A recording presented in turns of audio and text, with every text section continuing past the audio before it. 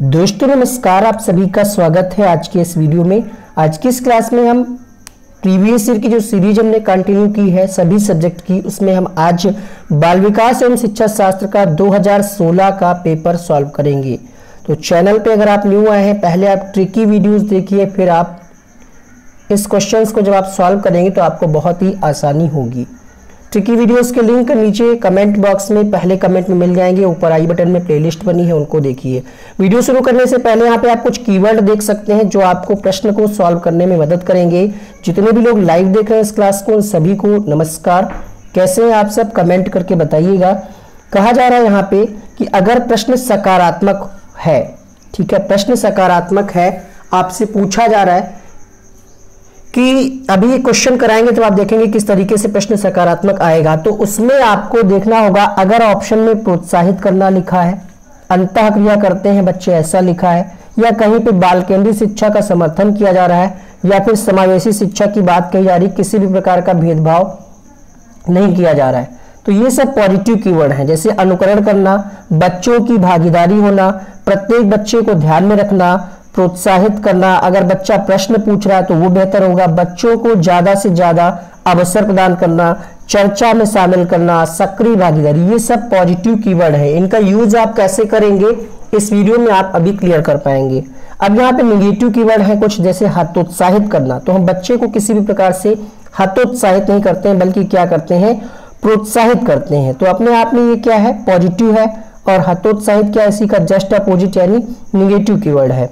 ठीक है, भाषण देना, दंड देना, कंठस्थ कराना, दबाव में आना मतलब बच्चों पे दबाव बनाना, रटना, याद करना, कंठस्थीकरण, अगर ऐसे कोई ऑप्शंस आते हैं तो वो अपने आप में निगेटिव होगा और वो प्रश्न का उत्तर नहीं होगा। अगर प्रश्न सकारात्मक है तो। क्वेश्चन अगर नकारात्मक है, अब सकारात्मक, नकारात्मक, अभी जब क्वेश्चन आपको कराएँगे तो आप समझ पाएँगे बेहतर ढंग से। अगर क्वेश्चन नकारात्मक है और ऐसा कोई विकल्प दिया है तो फिर यही इसका उत्तर हो जाएगा। आइए ले चलते हैं आपको क्वेश्चन की तरफ़। वीडियो को भी लाइक कर दीजिए क्योंकि आप भावनाओं में खो जाते हैं और लाइक करना भूल जाते हैं। क्वेश्चन नंबर एक आपके सामने।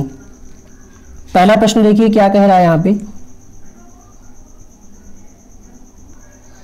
भारत में अधिकांश कक्षाएँ बहुभाषी होती हैं और इसे शिक्षक द्वारा डैश के रूप में देखा जाना चाहिए। समस्या के रूप में, संसाधन के रूप में, बाधा के रूप में या फिर परेशानी के रूप में।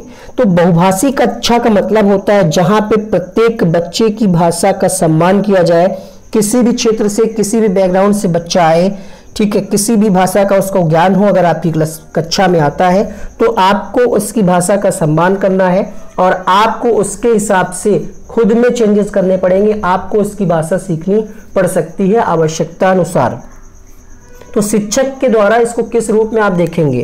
क्या बाधा होती है अगर कक्षा में बहुभाषी बच्चे हैं?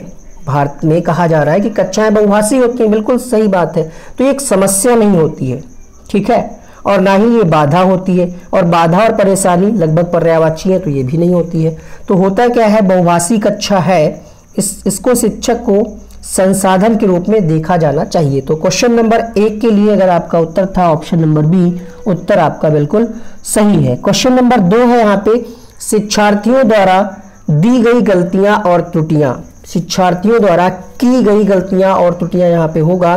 पहला ऑप्शन शिक्षक और शिक्षार्थियों की असफलता के सूचक है। मतलब अगर बच्चे गलतियाँ करते हैं तो इससे ये प्रतीत होगा कि वो असफल है।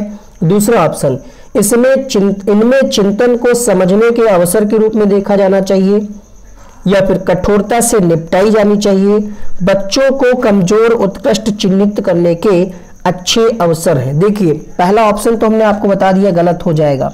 क्योंकि असफलता और सफलता के सूचक नहीं, अगर बच्चा कोई गलती कर रहा है, आप यहाँ पे सीख रहे हैं, गलती अगर कर रहे हैं क्लास में ही तो इसका मतलब ये नहीं है कि आप सफल होंगे या असफल होंगे, ये सूचक नहीं हम कह सकते। दूसरा ऑप्शन है चिंतन को समझने के अवसर के रूप में। अभी अभी हमने आपको पॉजिटिव वाले कीवर्ड में बताया था कि बच्चे को हमें ज़्यादा से ज़्यादा अवसर देना है।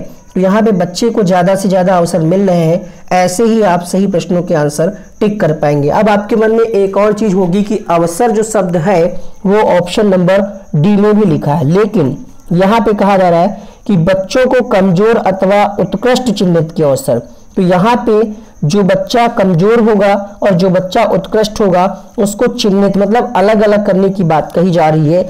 इससे क्या होगा, जो बच्चा वीक होगा, वो डिमोटिवेट हो जाएगा, हतोत्साहित हो जाएगा और पढ़ नहीं पाएगा। तो ये निगेटिव इसीलिए हो गया अवसर शब्द लगने के बावजूद। यहाँ पे क्या है, चिंतन को समझने के अवसर। तो ये पॉजिटिव हो गया। क्योंकि यहाँ पे बच्चे को समझने का मौका दिया जा रहा है कि वो गलतियाँ कर रहा है और बच्चा गलतियों से ही सीखता है। एक क्वेश्चन आया है।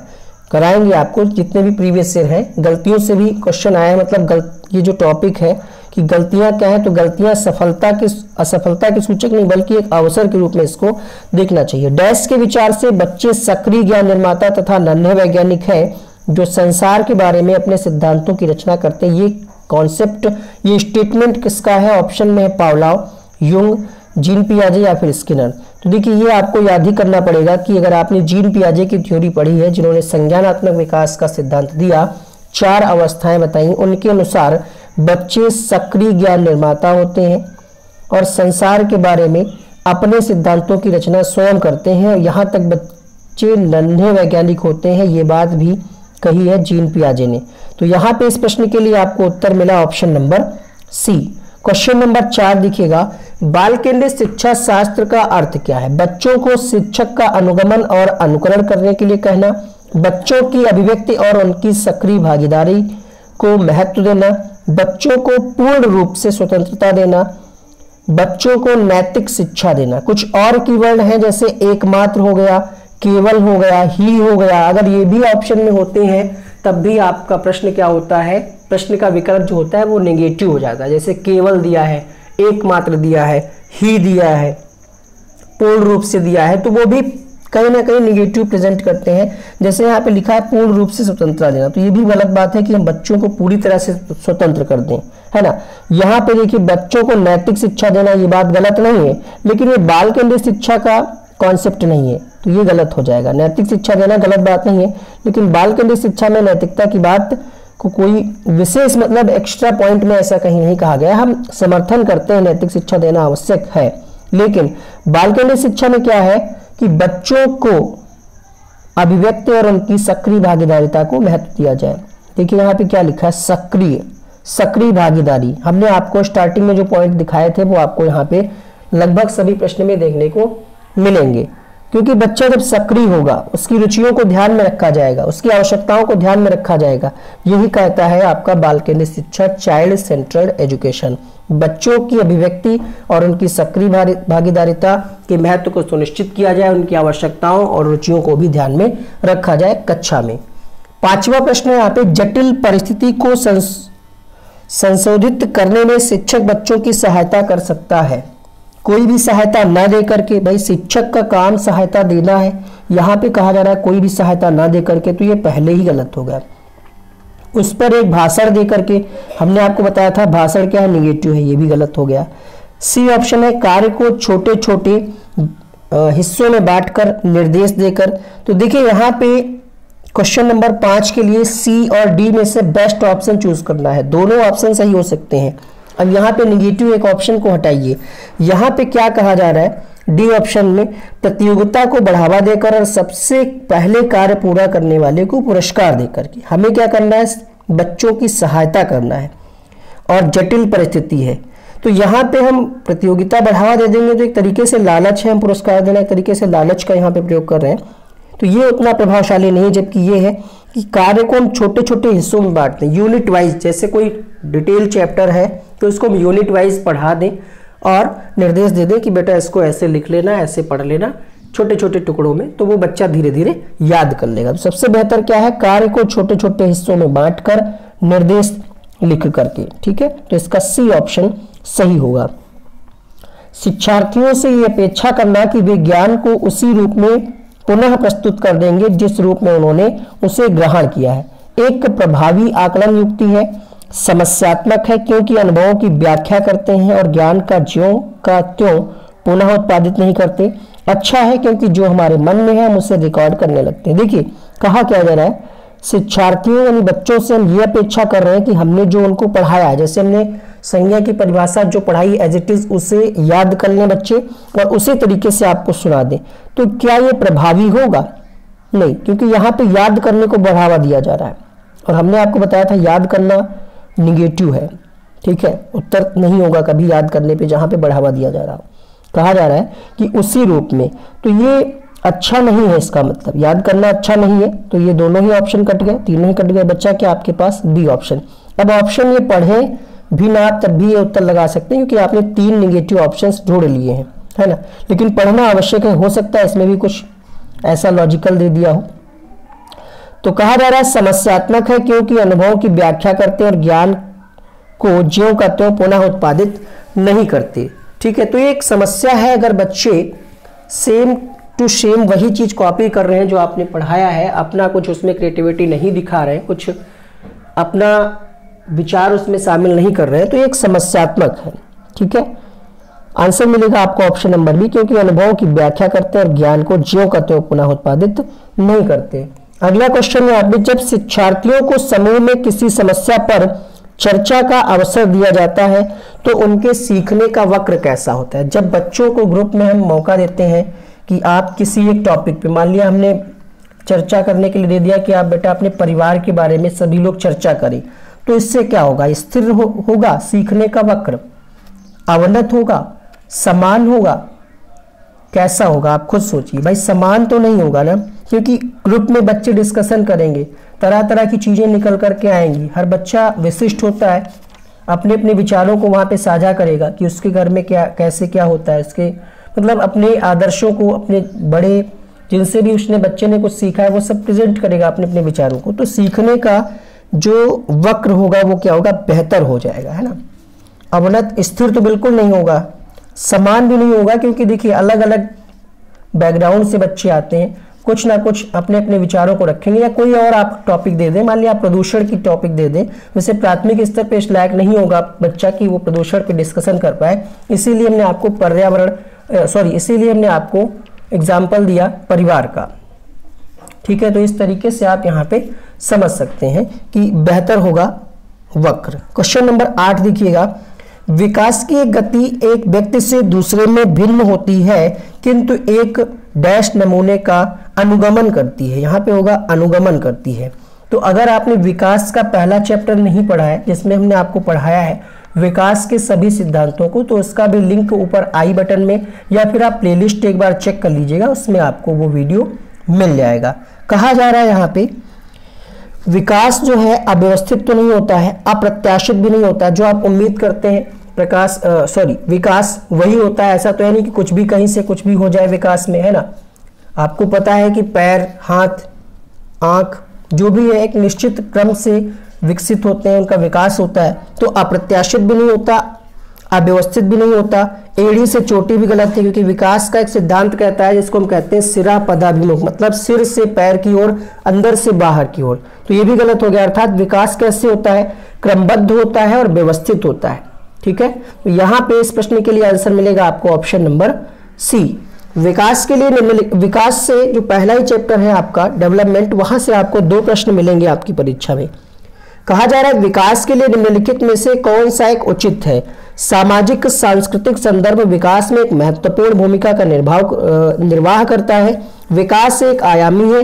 विकास पृथक होता है। विकास जन्म के साथ प्रारंभ होता है और समाप्त हो जाता है। तो देखिए, विकास, पहली बात जन्म से के साथ प्रारंभ होता है, समाप्त हो जाता है, ये अपने आप में ही गलत है, क्योंकि विकास जीवन पर्यंत चलने वाली प्रक्रिया है, निरंतर चलने वाली प्रक्रिया है, इसके लिए एक सिद्धांत भी आपने पढ़ा होगा, निरंतरता का सिद्धांत। तो विकास समाप्त नहीं होता, ये ऑप्शन गलत हो गया।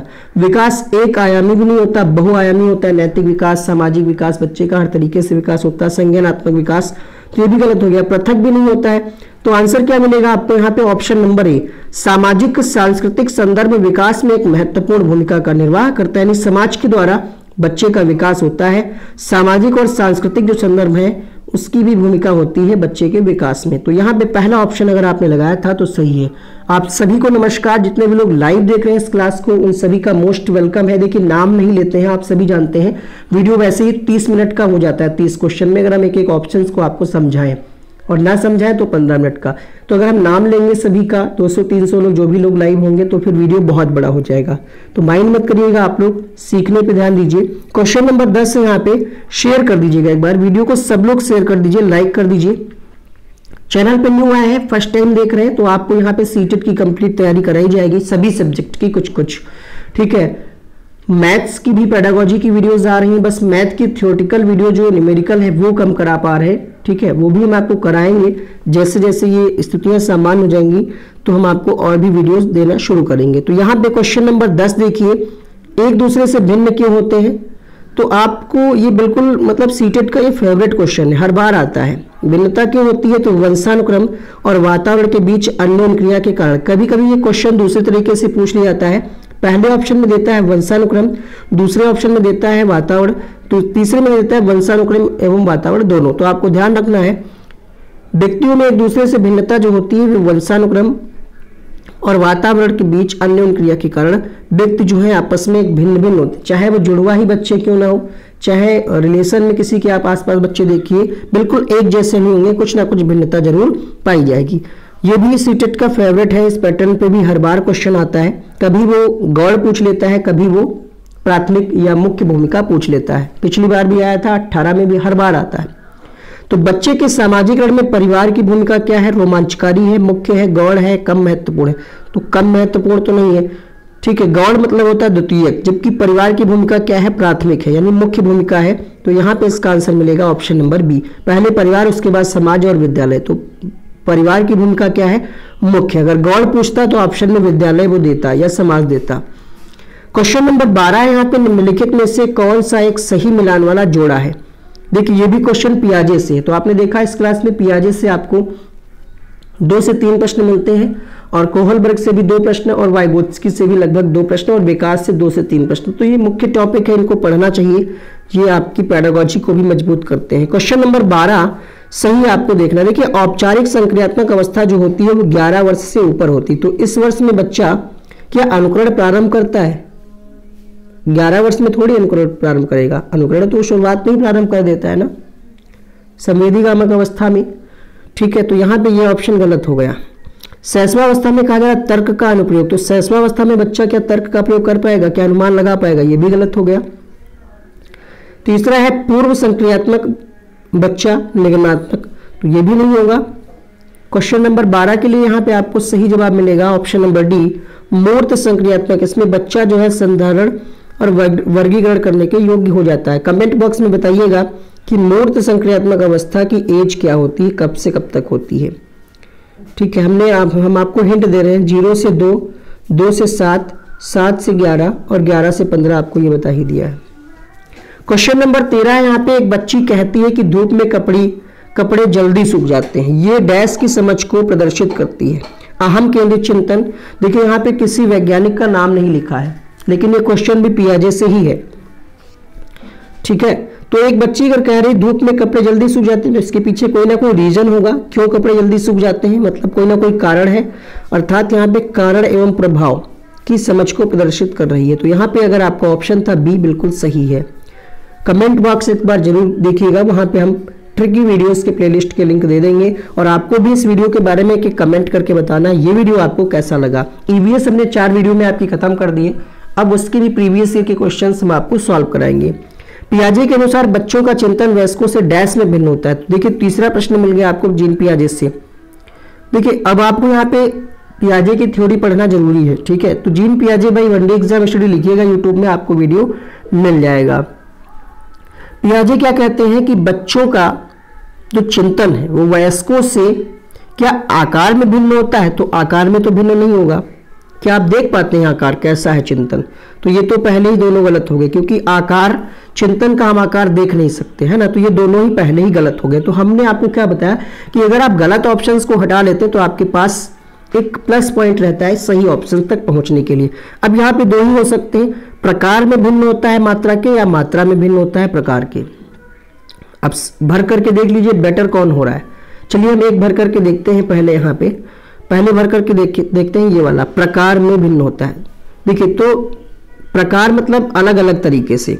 बच्चों का चिंतन वयस्कों से प्रकार में भिन्न होगा ना? मात्रा के नहीं, प्रकार मतलब अगर कोई कोई वयस्क है, वो चिंतन करेगा तो उसके सोचने का स्तर कुछ और होगा। कोई छोटा बच्चा है, उसका, वो अगर चिंतन करेगा तो उसका सोचने का तरीका, स्तर कुछ और होगा। तो यहाँ पे यही आंसर सही होगा, प्रकार में भिन्न होता है बजाय मात्रा के, ठीक है? मात्रा में ये वाला जो अगर आप भरेंगे तो मात्रा में भिन्न आ जाएगा, ठीक है? तो ये गलत हो जाएगा। समझ में आया? प्रकार में भिन्न होता है अलग अलग तरीके से। भाई, वयस्क बच्चा जिस तरीके से चिंतन करेगा, उस तरीके से छोटा बच्चा थोड़ी कर पाएगा, कर ही नहीं पाएगा तो ये प्रकार में भिन्न होता है। पंद्रहवा प्रश्न यहाँ पे, निम्नलिखित में से कौन सा एक आधारभूत सहायता का उदाहरण है? विद्यार्थियों को प्रेरित करने के लिए भाषण देना। देखिए, भाषण फिर से आया ना, इसीलिए कहते हैं कि कीवर्ड वाले वीडियोस आपको देखने चाहिए। Hindi math Sanskrit pedagogy EVS सबके बने हैं। वीडियोस देखिए प्लेलिस्ट को ज़रूर चेक करिए। प्रश्न पूछने को बढ़ावा दिए बिना मतलब आप प्रश्न पूछने को बढ़ावा ही नहीं दे रहे और स्पष्टीकरण दिए जा रहे हैं तो बच्चा क्या है? समझ पाएगा। बच्चे के मन में अगर कोई प्रश्न है, पूछना चाह रहा है और उसको आप बढ़ावा नहीं दे रहे तो गलत हो गया। मूर्त और अमूर्त दोनों प्रकार के उपहार दे देना उपहार देना गलत बात नहीं है, लेकिन यहाँ पे एक लालच की स्थिति बन जाती है। देखते हैं और ऑप्शन शायद इससे बेहतर मिल जाए। तो पंद्रहवा ऑप्शन में डी कह रहा है, अनुमोदन और संकेत देना तथा नाजुक स्थितियों में प्रश्न पूछना। हमने आपको पॉजिटिव वाले कीवर्ड में ही बताया था कि जहाँ पे प्रश्न पूछने को बढ़ावा दिया जा रहा है चांसेज होंगे वो प्रश्न का उत्तर सही होगा। अब सकारात्मक कैसे? देखिए, यहाँ पे क्वेश्चन में कहीं भी निगेटिव वर्ड का प्रयोग नहीं हुआ है। मतलब नहीं जो है, नहीं शब्द, वो नहीं दिया है यहाँ पे। ठीक है? तो यहाँ पे आंसर मिलेगा option number D question number 16 Vygotsky के अनुसार बच्चे सीखते हैं। परिपक्व होने से अनुकरण से वयस्कों और समयस्कों के साथ परस्पर क्रिया से जब पुनर्बलन प्रदान किया था देखिए, बच्चे हर तरीके से सीखते हैं, अनुकरण से भी सीखते हैं, लेकिन जब यहाँ पे नाम लिख दिया गया वाइगोत्सकी के अनुसार तो वाइगोत्सकी ने अपने सिद्धांत में ये कहा है कि बच्चे परस्पर अंत क्रिया से सीखते हैं। वयस्कों और समयस्कों से समाज में, विद्यालय में, परिवार में हर जगह अंत क्रिया के द्वारा, परस्पर क्रिया के द्वारा सीखते हैं। पॉजिटिव वाले कीवर्ड में भी हमने आपको ये चीज़ बताई थी।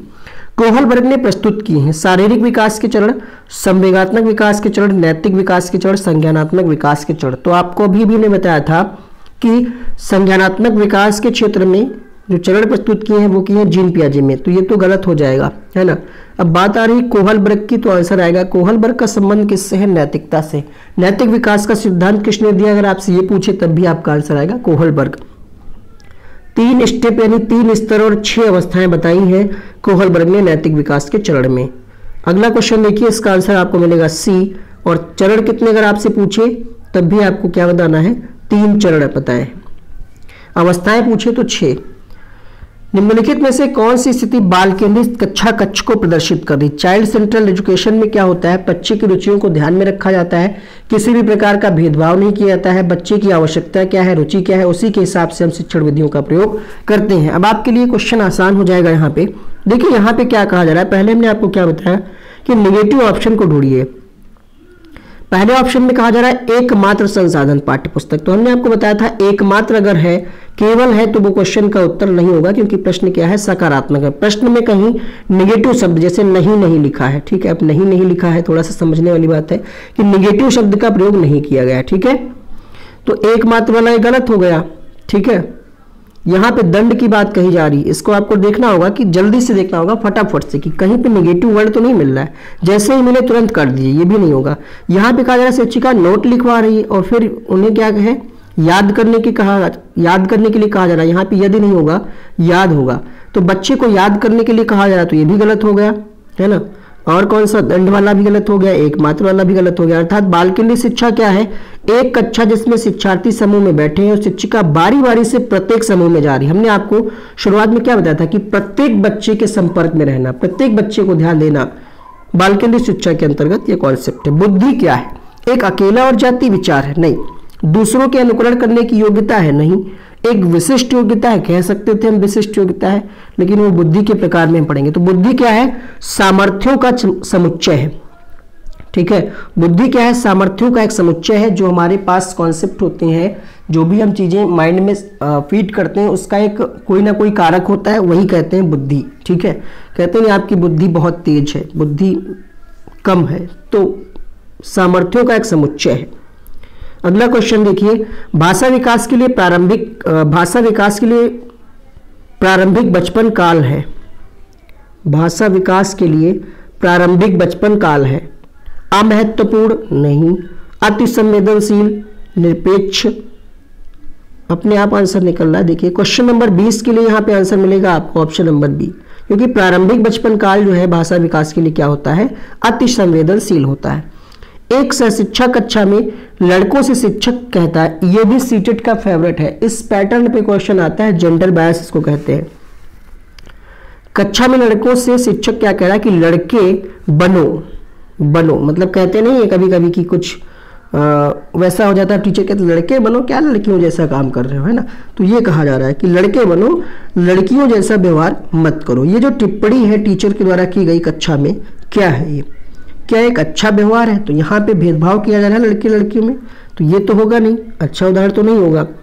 लड़के लड़कियों में भेदभाव की रूढ़िबद्ध धारणा को प्रदर्शित करता है और यही इसका उत्तर होगा क्वेश्चन नंबर 21 के लिए ऑप्शन नंबर बी। क्योंकि यहाँ पे भेदभाव की बात कही जा रही है। क्वेश्चन के ऑप्शन में साफ़ साफ़ लिखा है कि भेदभाव की रूढ़बद्ध धारणा को प्रकट करता है। क्वेश्चन नंबर 22 यहाँ पे आकलन। अब ऐसा प्रश्न आ जाए तो ये मत सोचिएगा कि प्रश्न में तो कुछ पूछ ही नहीं रहा था। आकलन लिखा है, बाकी के ऑप्शंस पढ़ने हैं और आपको देखना है कि चारों में आकलन से संबंधित कौन सी बात सबसे सही कही जा रही कई बार क्वेश्चन पूछता नहीं कि आपसे क्या कह मतलब क्या आंसर जानना चाह रहा है। जैसे यहाँ पे सीखना लिखा है। तो आपको पढ़ना है चारों ऑप्शन और देखना है कि सीखने के संबंध में कौन सी बात यहाँ पे बेहतर लिखी हुई है। ठीक है, ऐसे आपको थोड़ा सा लॉजिक लगाना पड़ेगा। तो आकलन के संबंध में यहाँ पे क्या है? कहा जा रहा है, बच्चों में प्रतियोगितात्मक भावना को सक्रिय रूप से बढ़ावा देता है। यहाँ पे दबाव और तनाव की बात कही जाए तो हमने बताया था कि दबाव आपको नहीं बनाना है बच्चे पे। ठीक है, सीखने में सुधार का एक तरीका है, या फिर बच्चों को लेबल और वर्गीकृत, यहाँ पे भी बच्चों को अलग अलग किया जा रहा है, बांटा जा रहा है, वर्गीकरण किया जा रहा है तो भी गलत हो गया। अब यहाँ पे दो ऑप्शन आपके पास बचते हैं, क्वेश्चन नंबर 22 के लिए। या तो आप ये लगा सकते हैं, सीखने में सुधार का तरीका है, या तो सक्रिय रूप से बढ़ावा देना। आकलन मतलब क्या होता है? जैसे हम बच्चों को पढ़ाते हैं पहले, फिर उसका टेस्ट लेते हैं तो ये आकलन हो गया एक तरीके। एक तरीके से, ठीक है? तो आकलन क्या है? भाई, हम अगर टेस्ट ले रहे हैं तो उसकी कमियों को पता लगाएँगे, फिर उसमें सुधार के लिए प्रयास करेंगे।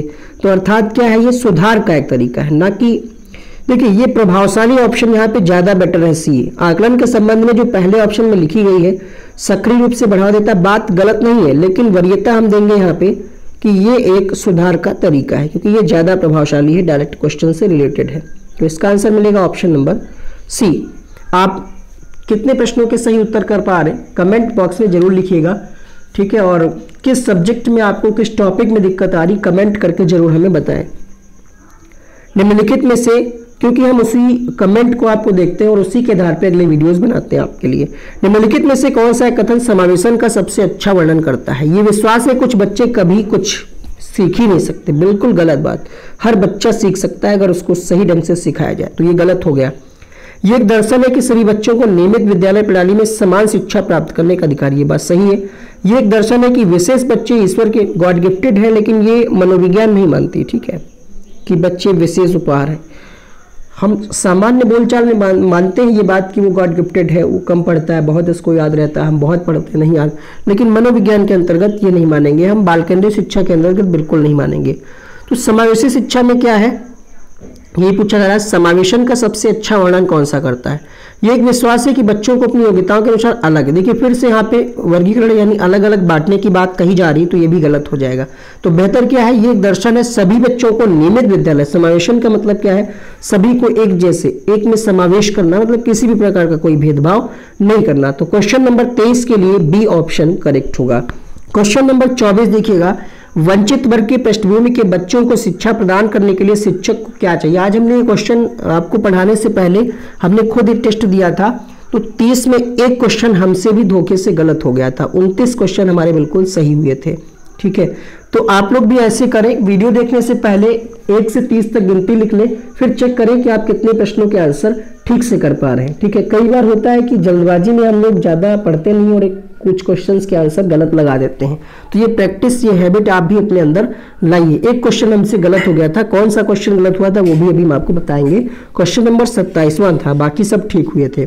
तो यहाँ पे कहा जा रहा है, वंचित वर्ग की पृष्ठभूमि के बच्चों को शिक्षा आपको प्रदान करनी है। अलग बिठाना गलत हो जाएगा। यहाँ पे कहा जा रहा ध्यान ना दें, ये भी गलत हो जाएगा। लिखित कार्य देना बहुत सा ये भी गलत। तो बेहतर ऑप्शन क्या है यहाँ पे? उनके बारे में अधिक जानकारी जुटाने को प्रयास करें और देखिए यहाँ पे लिखा है ना, चर्चा में शामिल करें। चर्चा में शामिल करें, अवसर देना, प्रोत्साहित करना, ये अपने आप में सही उत्तर की तरफ़ आपको खींचते हैं। अगर आप पकड़ पाए तो आप सही उत्तर की तरफ़ पहुँच जाएँगे बहुत ही कम समय में। यकीन नहीं मानेंगे आप 10 मिनट में सीडीपी के सारे क्वेश्चन हमने कर लिए थे सीटेड जुलाई के, नहीं सीटेड दिसंबर के पेपर में। दस मिनट में सारे क्वेश्चन हो गए थे। बस कैसे निगेटिव पॉजिटिव निगेटिव पॉजिटिव कई बार क्वेश्चन ही नहीं पढ़ना पड़ता है। आप ऑप्शन देख करके ही जान जाएँगे कि ये उसका उत्तर नहीं होगा। तो ये हैबिट लाइए आप धीरे धीरे आपके अंदर आ जाएगी।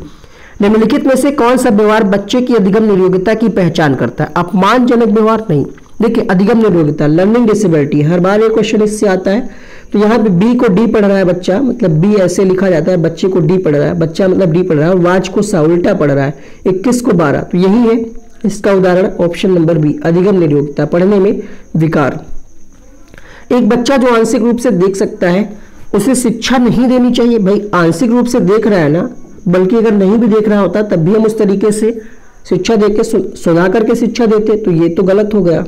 यहाँ पे कहा जा रहा अलग संस्थान में डालने की आवश्यकता, ये भी गलत हो गया। यहाँ पे कहा जा रहा है बिना किसी विशेष प्रावधान के। और यहाँ पे कहा जा रहा है विशेष प्रावधान के। तो आप क्या करेंगे? क्वेश्चन नंबर 26 के लिए। देखिए, अगर आंशिक रूप से देख रहा है बच्चा तो हम उसके हिसाब से, मान लिया देखने वाली जो सामग्री है, वो नहीं प्रयोग करेंगे। लेकिन विशेष प्रावधान करती है। सुनने वाली सामग्री या कुछ ऐसी एक्टिविटी हम कराएँगे, जिससे बच्चे को समझ में आए। विशेष प्रावधान करते हुए हम उसको नियमित विद्यालय में ही रखेंगे।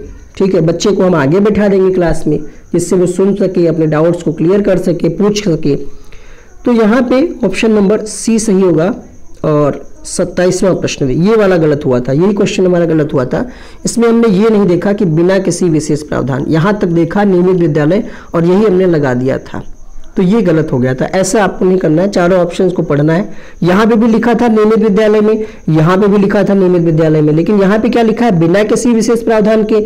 यहाँ पे लिखा है विशेष प्रावधान के। बस इतनी सी गलती में एक नंबर हमारा चला गया, वरना तीस में तीस आते। यही वीडियो में जो हम बना रहे हैं, इसके पहले हमने इसको टेस्ट दिया था।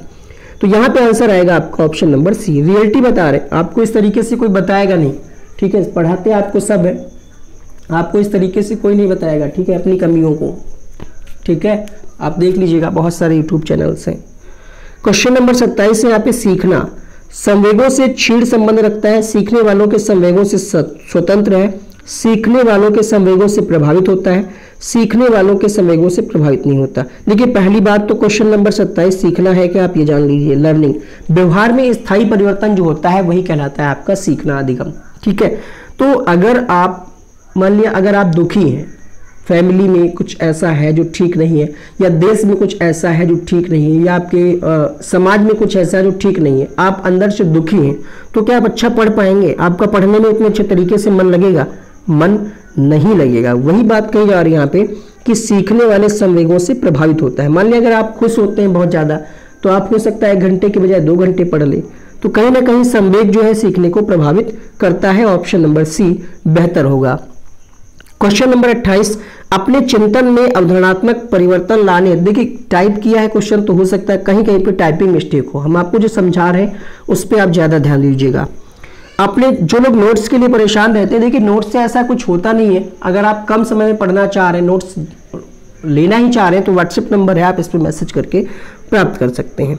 और बैच कोर्स भी चल रहा है हमारे वहाँ। ठीक है अकेडमी के ऐप पे टॉप एजुकेटर्स के द्वारा कंप्लीट कोर्सेज भी कराए जाते हैं। Paper one paper two science, math SST और संस्कृत, इंग्लिश, सभी के अलग अलग टीचर हैं तो आप उनसे पढ़ सकते हैं। छोटी सी फ़ीस होती है, उसका प्रोसेस आपको व्हाट्सएप नंबर पे बता दिया जाएगा। अपने चिंतन में अगर आपको अवधारणात्मक परिवर्तन लाने हैं, शिक्षार्थियों के समक्ष बनाने के लिए शिक्षिका को क्या करना देखिए, यहाँ पे पहले ऑप्शन में क्या लिखा है? हतोत्साहित। जैसे ही आपको हतोत्साहित दिखे ऑप्शन कट गया। लेकिन ये ध्यान रखना है कि ऐसा ना हो हतोत्साहित के साथ लिखा हो, हतोत्साहित नहीं करना चाहिए तो फिर वो ऑप्शन सही हो जाएगा। ध्यान दीजिएगा, यहाँ पे लिखा था, हतोत्साहित करना है तो हतोत्साहित करना है, ये गलत हो गया निगेटिव है। फिर क्या कहा जा रहा है? व्याख्यान के रूप में व्याख्या प्रस्तुत करनी चाहिए, स्पष्ट और आश्वस्त करने वाली व्याख्या देनी चाहिए। देखिए यहाँ पे क्या लिखा, चर्चा करना। चर्चा करना अपने आप में बेहतर है। पुरस्कार देना फिर वही बात है, हो गई कि हम एक बार दे देंगे बच्चे को लालच। मान लिया एक बार वो लालच में पढ़ रहा है बार बार फिर हम पुरस्कार ना दें तो फिर वो नहीं पढ़ेगा। तो ये गलत हो गया। आंसर क्या आएगा? स्पष्ट और आश्वस्त करने वाली व्याख्या और शिक्षार्थियों के साथ चर्चा। चर्चा अपने आप में क्या है? पॉजिटिव कीवर्ड है तो यहाँ पे आंसर मिलेगा ऑप्शन नंबर सी। प्राथमिक विद्यालय की कक्षा कक्ष के संदर्भ में प्रक्रियाबद्धता का क्या अर्थ है? प्राथमिक विद्यालय की कक्षा कक्ष के संदर्भ में प्रक्रियाबद्धता का क्या अर्थ है? शिक्षक का अनुकरण और नकल करना, जाँच पड़ताल करना, प्रश्न पूछना, वाद विवाद, शिक्षक देखिए यहाँ पे नकल करना याद करना गलत हो गया, यहाँ पे भी नकल करना। अब आपके पास एक ही ऑप्शन बच रहा है, कहाँ जाएँगे आप? खुद सोचिए। अब आप यहाँ पे सोच रहे होंगे वाद विवाद। वाद विवाद का मतलब लड़ाई झगड़ा नहीं है यहाँ पे। वाद विवाद का मतलब है डिस्कशन ग्रुप डिस्कशन जैसे आपने कभी देखा, सुना होगा, वाद विवाद प्रतियोगिता होती तो उसमें क्या होता है? जैसे हमने प्रदूषण का टॉपिक दिया उस पर वाद विवाद प्रतियोगिता रखी। तो एक पक्ष अपनी बात कहता है और दूसरा पक्ष फिर वो अपनी बात कहता है ना? तो वाद विवाद का मतलब यहाँ पे लड़ाई झगड़े के सेंस में नहीं है। प्रश्न पूछना और वाद विवाद मतलब है एक तरीके से डिस्कशन करना। इसलिए इसका आंसर आएगा बी ऊपर आई बटन में चेक करिए। सीटेड पाँच जुलाई की प्लेलिस्ट लिख के आ रहा होगा। सीटेड जुलाई प्लेलिस्ट तो वो आप देखिए, उसमें सभी वीडियोस को हम ऐड करते रहें। और अलग अलग प्लेलिस्ट भी हम आपके लिए बना चुके हैं तो उसको भी आप देखिएगा। लास्ट क्वेश्चन होगा, बच्चे तब सृजनशील होते हैं जब वे किसी गतिविधि में भाग लेते हैं। दूसरों के सामने अच्छा देखिए, दबाव में नहीं आते बच्चे, दबाव अपने आप में निगेटिव है। डांट से बचने के लिए नहीं। बच्चे तब ज़्यादा सृजनशील होंगे जब आप अपनी मर्ज़ी से सीखेंगे। भाई, अगर आपको ज़बरदस्ती कोई क्लास में बैठा दे तो क्या बेहतर सीख पाएँगे? नहीं। अगर आप अपनी मर्ज़ी से तत्पर नहीं सीखने के लिए तो आप नहीं सीख पाएँगे। तो यहाँ पे आंसर मिलेगा बी। तीस में आपका क्या स्कोर रहा? कमेंट बॉक्स में बताइएगा। यहाँ पे आपको कुछ पिछले वीडियोस के लिंक दिख रहे होंगे थंबनेल बन के आ रहे होंगे। उनको क्लिक करके देखिए। अगर आपने अभी तक वीडियो को लाइक नहीं किया, एक लाइक कर दीजिएगा। चैनल को भी सब्सक्राइब करके बेल आइकन को ऑन कर लीजिएगा। ठीक है, यहाँ पे प्रक्रियबद्धता नहीं होगा, यहाँ पे होगा सक्रियबद्धता। सॉरी सक्रियबद्धता होगा यहाँ पे। ठीक है? थैंक यू सो मच इस वीडियो को देखने के लिए। All the best